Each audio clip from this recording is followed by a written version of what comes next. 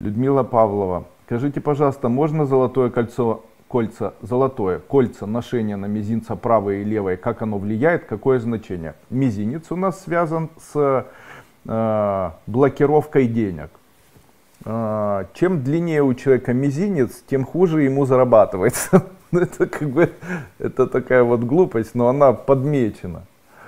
Э, но есть такие ритуалы, знаете, если брать мизинчик и вот так его зажимать пальцем, то тогда, э, то тогда человеку больше везет в деньгах. В чем минус? Если очень везет в деньгах, то не очень везет в любви. Поэтому те, у кого длинный мизинец, в любви везет, а в деньгах не очень.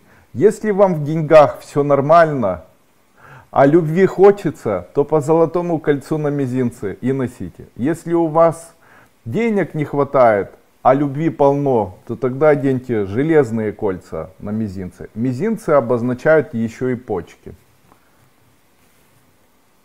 Если на мизинец левой руки или правой одеть железное кольцо, то это заблокирует у человека безденежье и вылечит почки. У человека начнет появляться или усиливаться диурез, и легче ему будет уменьшиться креатинин и уменьшается мочевая кислота.